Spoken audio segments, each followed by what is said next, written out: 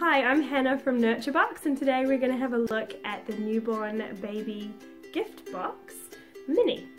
Um, so the first item that we have in this box are the milestone cards by the Lilybug Project, which is a New Zealand um, made item um, and it just has all the different uh, milestone cards that you can pop baby in front of from Hello World uh, through to I Am One. Very cute.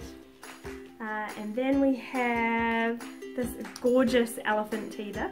Um, and this is also homegrown from Violet's Baby Boutique. Uh, and you've got, it's absolutely baby friendly um, with all these cute little fabric um, and silicone beads and then the little wooden elephant there too.